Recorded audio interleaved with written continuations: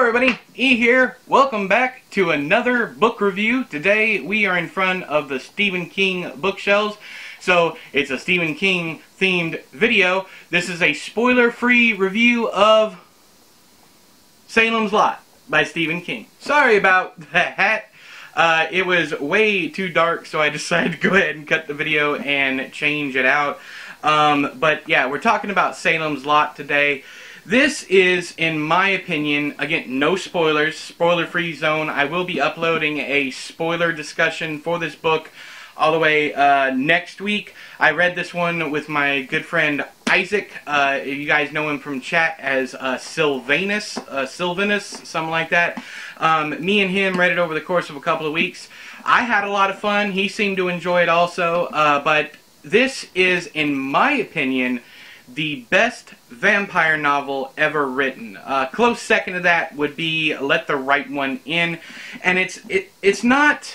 This book is not great because of vampires. This book is great because of the characters and the story, um, and the implications. For me, the implications at the end of the book.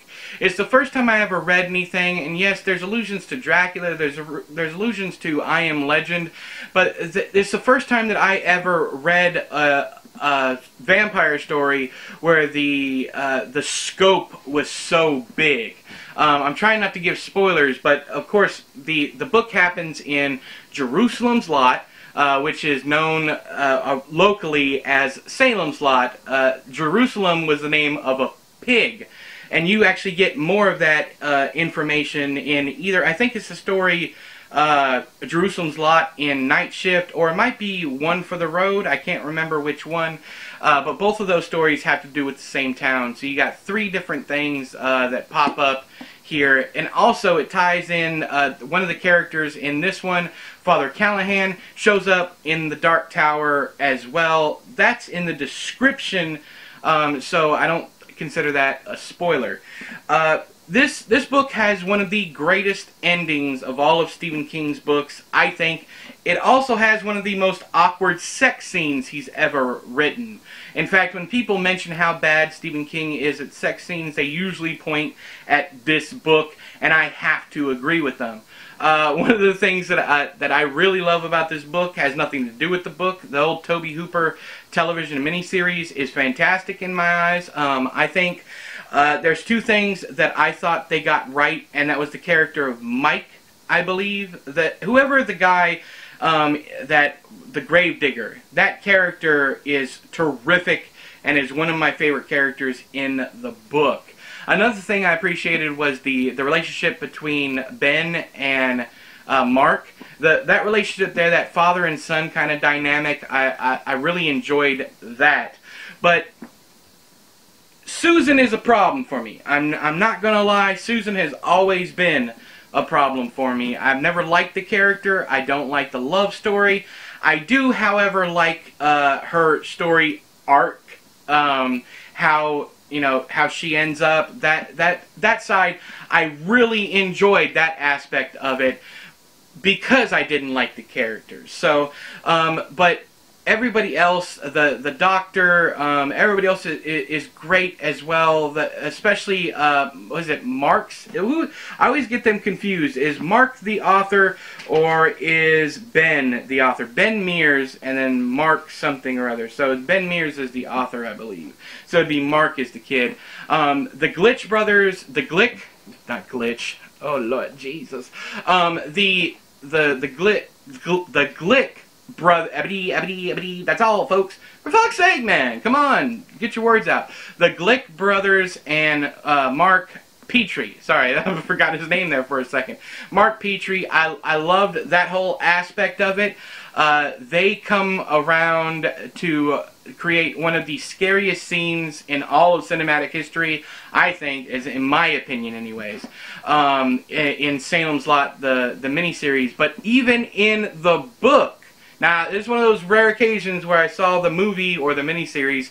Uh, I saw that before I actually read the book. I saw um, the, I think, I, I want to say, probably not, it's probably what Mandela effect, I probably don't actually remember this, but I want to say that I actually watched it live on television um, when it first came out. Now, if that's not possible, I apologize, because I was born in 1980. I'm not sure when the Hooper film uh, miniseries came out, but uh, I, I seem to remember being watching it and being just utterly, utterly terrified. Um, and even to this day, I went back and I watched it with my kids recently, and it holds up, man. It really does hold up, especially for me. Now there are scenes that are terrible, uh, terrible looking in the movie, but most, for the most part, the film is the the miniseries is fantastic. Now the book. Um, there, there's some major changes and whatnot, um, especially to the way that the main vampire looks. And I, I, I say the main vampire because I can never remember which one's Straker and which one's Barlow. I want to say Straker is the antiques dealer and Barlow is the vampire, but I can't remember. Um, there, there's so much in this book that has to deal with like Dracula lore um, that I it really doesn't do anything for me, but it, it's funny because I actually got an argument a couple years back. I've never read Dracula, never even been able to sit through like the, the movies that are closest to the book. Um, I actually got an argument. I was like, just because it's got vampires does not mean that Stephen King was doing a tribute to Dracula. Well, he was. I mean, I have since listened to the audiobook. Uh, I think it's Alan Cumming, or is it Tim Curry? I can't remember who does it, but the audiobook for Dracula is fantastic, and I actually got a chance when when when I finished that, I read Salem's Lot right after it, and I saw I saw the similarity. So if if the person that I had that discussion with all those years ago, if you're if you're watching this, I apologize. I'm sorry. Anyways, um, so but I I never realized how many points. It's like ticking off a checklist kind of deal that King does.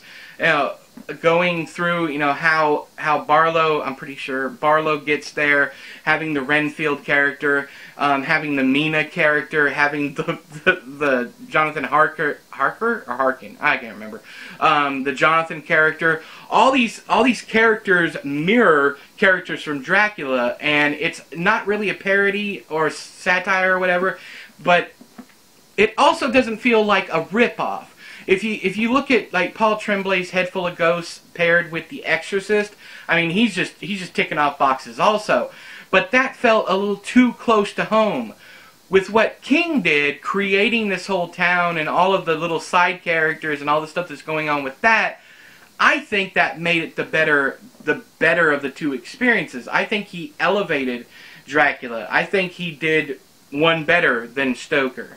Um, that's my opinion. Like I said, this I feel like this is the best vampire novel ever written. Um, now, I'm sure there'll be plenty of people who disagree. Um, I know there's loads of people who enjoy uh, Let the Right One In more than they like this one, or any number. Uh, I Am Legend, people bring that one up all the time. I wasn't a fan of it. Um, but I really, really love this book, um, and it's in my top 10 Stephen King novels. Um, but overall, I think that the experience is a is a vastly superior one, like I said, to any other vampire novel, but it does have its issues. Um, you're going to run into the very forced and very awkward sex scenes. Um, you you might not like Susan. I know I didn't.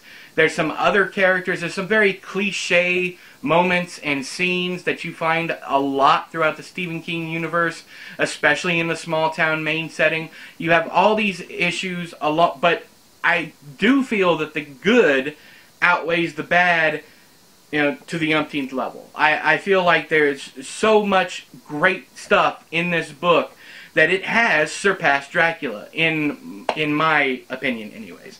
But have you read Salem's Lot? Did you like it? Did you not like it? Let me know down there in the comments below. But until next time, I have been E, you have been you. This has been another Stephen King book review. I'll talk to you guys later. Bye-bye!